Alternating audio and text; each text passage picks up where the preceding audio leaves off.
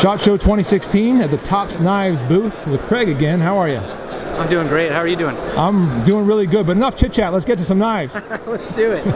okay, so we've got 22 new items this year. There are a whole lot of new things here on the table, but we're going to start with the one that everybody's been asking about the Fieldcraft folder. We had this last year. We've been working on it all year.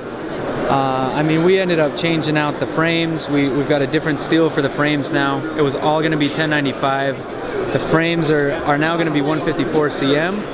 We're going to stick with the 1095 on the blade. Uh, still going to have the tan canvas handles. There will be a reversible pocket clip on this. It's going to have the bow drill divot. Um, basically, we just want everybody to know that this is still going to happen. Every time we post something, we inevitably get the question, what about that bob folder? And you know, I just want to make sure everybody knows, we hear you. We want to release it just as badly as you want it. Um, we just want to make sure that it's right first. So we've worked on a lot of different things. It's going to be a frame lock. Um, and all of these changes that we've made throughout the year have been to make sure that it's, it's a tops. You know, that it's overbuilt, it's heavy, it's, it's big and strong. Um, we got a chance to test it. I've been carrying one since September. I took it down to Colombia. I just beat on it the whole time I was there.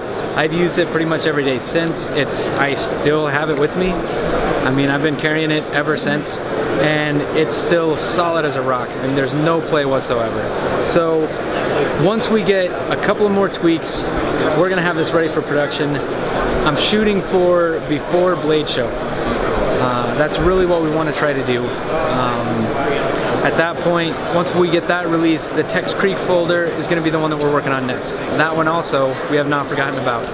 We just decided let's take it one at a time, get this one out, and then that one will be smooth sailing. So, there's your first look, or I guess your second look, at the Fieldcraft folder. The second more refined look. It's coming along and it's looking really good. Yeah, definitely. Okay, up next is a Joe Flowers design. Joe Flowers is, uh, I mean, he's a great guy. He's a biologist. He's, uh, he's a really smart guy. Loves the outdoors. Loves camping and bushcraft and just anything he can do outside, he's going to be there. And he's got a company actually called Bushcraft Global that does trips to the Amazon yearly. September, uh, actually that's where I was in Colombia, was down there with Joe. We, yeah, so in uh, this trip right here, basically he takes people down to the very southern corner of Colombia. You're right on the border with Brazil and Peru. And he's taking people out into the jungle where there are just thousands and thousands of things to see and you cannot see them all in the time you're going to be there. But everything there is is is just full of life and things that want to kill you at the same time. It's it's so it's magical. I mean, it's just it's such a crazy trip. If you ever get the chance, you should absolutely go. Bushcraftglobal.com. You can find him on Facebook as well. It's so worth it. Uh, anyway, the point of that rant is that he has designed a knife to be kind of the flagship knife for this trip. It's a 1095 high carbon steel. We've got green canvas micarta handles. The uh, there's a tumble finish on this, and it's covered with a clear Cerakote, so it is protected from rust. Um, anywhere aside from the grind, you got to keep the grind oiled and clean, and you'll be good. Uh, this will come with a Kydex sheath. With a nice belt loop. This is a rotatable uh, rotatable clip on that, so you can wear it horizontally, upside down, normal, however you want. Nice. Okay. This one, I would say we're looking at uh, we're looking at probably a Q3, maybe a Q2 release. So some sometime spring, summerish. Very nice. Okay. I like it. Next up, we have the Lioness Elite. Now the original Lioness, uh, it, it's the same specs. It's 1095, black G10 handles. Um, the original Lioness was a bright pink, and for some people that was just a little too loud. You know, it it's is just too bright. And so we toned it down. We've got kind of a purple maroon Cerakote on this. I even think this looks great. I wouldn't be ashamed to carry this, you know. Oh, not in the slightest. Um, I think it's really gorgeous. Yeah. One of the things that I really like about this knife is that handle is so comfortable. It's, I mean, it's a smaller handle, but it doesn't really feel too small. And this finger groove here is really deep, which makes it great for beginners, great for people that maybe don't use a knife that often. But, you know, besides that, it just, you get locked in really well when you're holding onto this.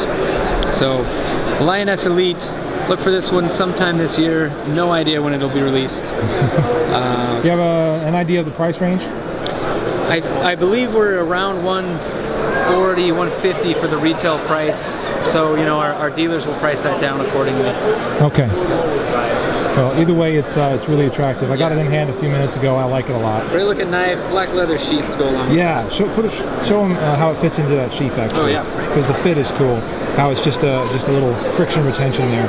Yep. Simple, uh, effective. I like it. And people have been pulling this out and putting it in all day, so it's stretched out to where it's gonna be. Sure. And it still fits really well. Nice. So. Okay. Up next, we have a, another design by Joshua Swanigan.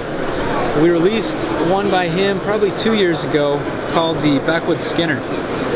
Josh has a lot of outdoors experience, has a lot of experience with, uh, with law enforcement, tactical experience, and he wanted to design a knife that he could do, that he could use as a as a self-defense knife, but also as a utility tool. So that's why he came up with this one. CUT 4.0 stands for Combat Utility Tool. It's basically a karambit and a utility knife all in one with a 4-inch cutting edge, as you may have guessed. Um, again, 1095. It's got a black traction powder coat. This is the tan canvas micarta handle scales. We've got kind of a new pattern put into that not really a name for it, uh, but it gives a little bit of a uh, little little better look, but it also adds a little bit of traction. I've got an idea for a name. Yes. Uh, lawn sprinkler. it's kind of like shooting the you know fountains yeah, of water across yeah. lawn sprinkler. Yeah, that sounds a little more manly than dragonfly, which is. Uh, oh no! Don't go dragonfly. lawn sprinkler. Yeah, lawn sprinkler. That, uh, I think that's winning. So, one of the things we're excited about with this knife is also the sheath. Um, standard black Kydex, which is not new for us, but we've added a couple of beta material loops onto this to make it a modular sheath.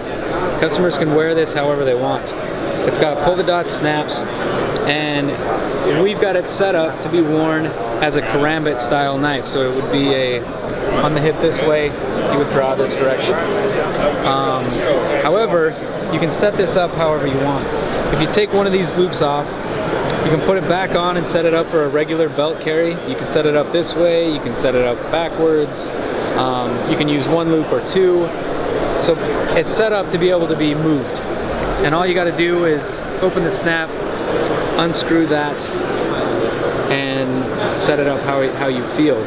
Loops will also have a couple of different holes in them to make it tighter or looser depending on your belt size. Uh, it should fit up to about a two, I think 2.25 inch belt, pretty comfortable. So sweet. I like that one a lot. Yeah, this one is. Uh, we're excited about this one. Uh, T Jack, if you're watching, this one's for you. I think you ought to check it out. Okay, now onto these friction folders. They All right. Cool. So another thing that is brand new for us, we've never done this before, as a friction folder. We're known for building heavy-duty, overbuilt tactical knives, and this is just it's just not that heavy duty. So uh, basically, after the Blade show, uh, we, were, we, were, coming back. We were on the plane talking about what new designs and what you know what we thought would be fun for us to do, and we we stumbled across straight edge razors and just thought, you know, those are those are just they're slick. You know, they just they look good, and we decided we're gonna make a friction folder. We're gonna call it the Tac Raze, which is short for tactical razor, of course, and turn it into something that uh, that we can sell. So you've got a, a, recurved blade here with kind of a modified tanto point almost. Um, this is a black G10 handle and we the, the tread on that we call cryptic cyber scales. It was actually released last year at the SHOT Show on one of our cat models. So really a cool design. This is one. This is the one we're leaning towards, but just so that people know, we've got a couple of different options we've been looking at. There's a red and black G10. We've got a blue and black G10. There's a tan canvas version. Um, so we're gonna start with one, and then later on we'll probably release these other options as well. And that all depends on how many of them you guys buy, so buy them up. Exactly. no frames on that, so with uh, with the materials, we're hoping to keep the, the retail price on this at or under $100. Wow, cool. Did you say it's 1095 steel? Yes, it is 1095. It's a tumble finish with a clear Cerakote. Very cool. Uh, like you said, it's got sort of this straight razor aesthetic to it while having the functionality of you know the full edge all the way out to the tip and um, sort of like you said before a modified tanto. Um, I dig it. As a friction folder, I think that's really, really cool. Yeah. We're still working on the sheath for this, but most likely it will resemble a, a, a magazine pouch for, uh, you know, for like a firearm. So it'll be open, and we want it, we want it to be able to be worn either horizontally or, or vertically. So it'll be a friction fit into that leather. I like it. I think that's a great idea. Last but not least, we have the XL Bartender Defender. I'm sorry, did you say XL? I did say XL, yes. Um, okay. I, I can imagine that most people are uh, saying that's not very large. Well, that's correct. The original Bartender Defender is uh, actually a little bit smaller than this. We've we've made a change to give it more of a blade. That one had like a like a 0.75 inch cutting edge on it, and it was made to open boxes and beers. So what we decided with this one was let's put the bottle opener on the top instead of the bottom and give it more of a cutting edge. I like it. We've got kind of a this is a new powder coat for us. It's a it's a OD green color. We're kind of trying to decide between this or a dark gray powder coat. Um, this is the one that we brought with us so that everybody could get a good look. It'll be a uh, Kydex sheath neck knife. We just don't have the sheath made for this one yet. Cool.